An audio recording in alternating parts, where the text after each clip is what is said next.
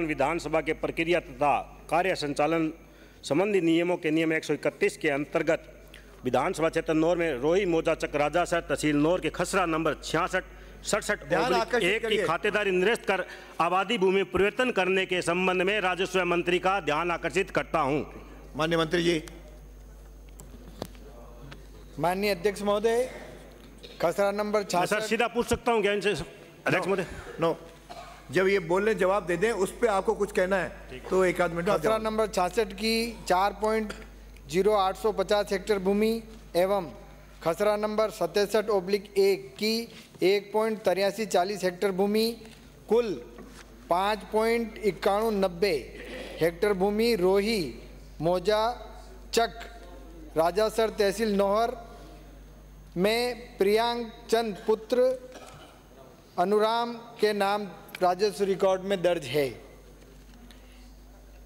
माननीय अध्यक्ष महोदय,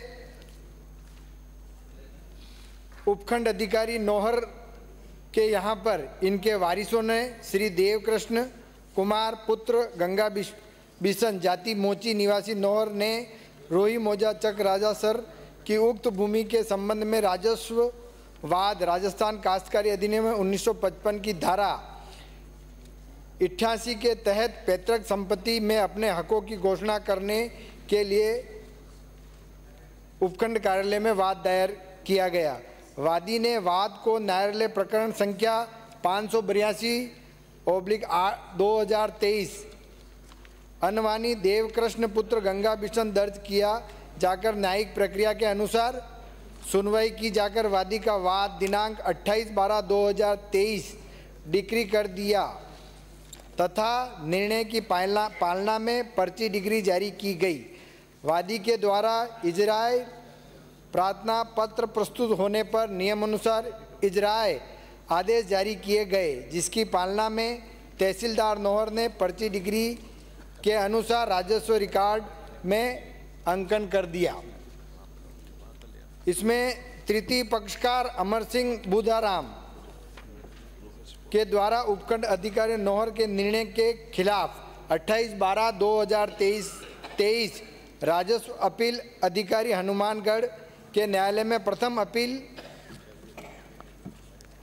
33 ओब्लिक 2024 अनवानी अमर सिंह बनाव देवकृष्ण आदि प्रस्तुत की गई, जिस पर बाद सुनवाई माननीय न्यायालय ने दिनांक 24 छः 2024 को निर्णय पारित कर अपील अपीलांट खारिज कर दी गई। तो इसके बाद तृतीय पक्षपा पक्षकार बुधाराम आदि ने राजस्व अपील अधिकारी हनुमानगढ़ के निर्णय दिनांक 24 छः 2024 के विरुद्ध माननीय न्यायालय राजस्व मंडल राजस्थान में द्वितीय अपील चार हज़ार तीन सौ इक्यावन ओब्लिक दो हज़ार चौबीस चौबीस अनवानी बुधाराम बनाम देव कृष्ण कुमार प्रस्तुत की गई, जिस पर बाद सुनवाई दिनांक पाँच सात दो हज़ार तेईस को भी अपील खाली, खारिज कर दी गई।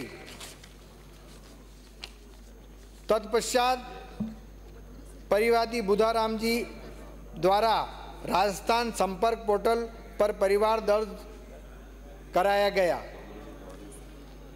तहसीलदार द्वारा पटवारी हल्का सोंदणी से रिपोर्ट ली गई पटवारी हल्का ने उक्त कृषि भूमि अकृषि उपयोग में ली जाने की रिपोर्ट प्रस्तुत होने पर तहसीलदार नौहर द्वारा प्रार्थना पत्र, राजस्थान काश्तकारी अधिनियम की धारा एक के तहत व अन्य प्रार्थना पत्र अंतर्गत धारा 212 आरटी एक्ट न्यायालय उपखंड अधिकारी में प्रस्तुत किया गया।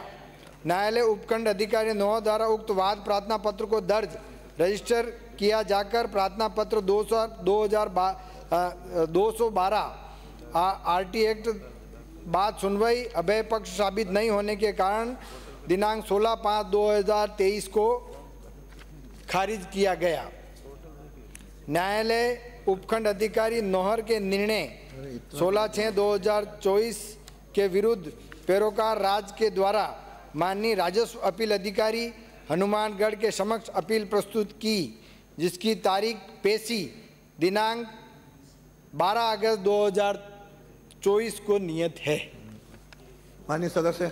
माननीय अध्यक्ष महोदय इसमें मैं आपका संरक्षण चाहूँगा कि जिस तरह से अधिकारियों ने गोलमोल जवाब मंत्री महोदय पढ़ाया गया मौके स्थिति पे आज दो तीन सौ घरों की आबादी वहाँ बसी हुई है।